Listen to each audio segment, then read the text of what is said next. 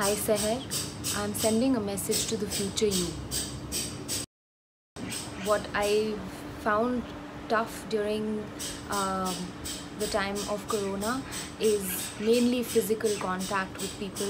Uh, being a dancer, we, we sort of vibe on physical energy, and that's been really difficult um, not having that.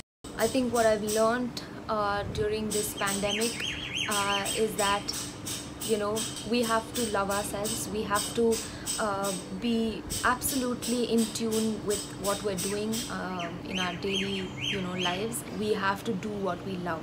I think technology has played a huge part uh, during uh, the coronavirus pandemic um, in connecting people worldwide. What i did not like about technology during this time is um, I think that people are still trying to sort of um, you know uh, reach uh, somewhere that isn't possible uh, um, still trying to set these unimaginable goals uh, these ambitions that are way too high and uh, uh, that sort of doesn't work for everyone. I think uh, that we need to give space to everyone uh, to deal with this the way they want to deal with it.